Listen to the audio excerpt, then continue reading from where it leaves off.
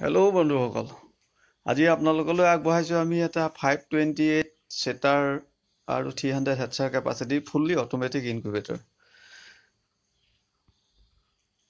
এই ইনকুবেটৰটোত আপোনাৰ X M eighteen controller use কৰা হৈছে। ইয়াৰ ৰিজাল্টটো খুব সুন্দৰ হয়। ফুল্লি ফাইবাৰ বডিৰ ইউজ কৰা হৈছে ইয়াত। আৰু আপোনাৰ হেণ্ডলিং কৰিবৰ কাৰণে দুডালকৈ হেণ্ডেল দিয়া হৈছে।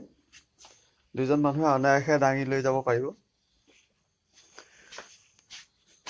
ইয়াতে ছেটাৰ হিচাপে এইবিলাক ট্ৰে ব্যৱহাৰ কৰা হৈছে ছেটাৰ ট্ৰে আৰু হেডছাৰৰ কাৰণে এইখিনি আছে। ইয়াত অভাৰ টেম্পাৰেচাৰটো কণ্ট্ৰল কৰিবৰ কাৰণে আপোনাৰ এডজাষ্ট ফেন দিয়া হৈছে ইয়াত।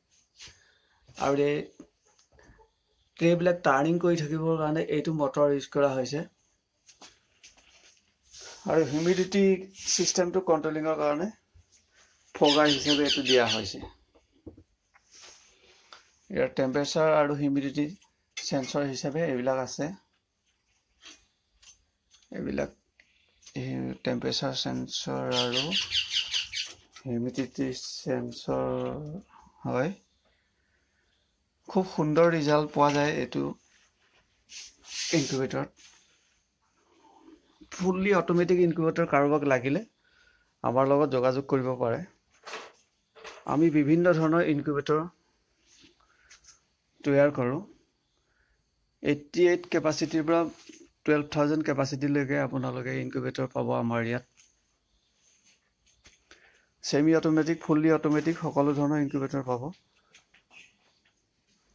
আমাৰ ইনকুবেটৰসমূহৰ প্ৰাইচটো আপোনাৰ টু থাউজেণ্ডৰ পৰা ষ্টাৰ্ট হৈছে। কাৰোবাক ইনকুবেটৰ লাগিলে আমাৰ লগত যোগাযোগ কৰিব পাৰে।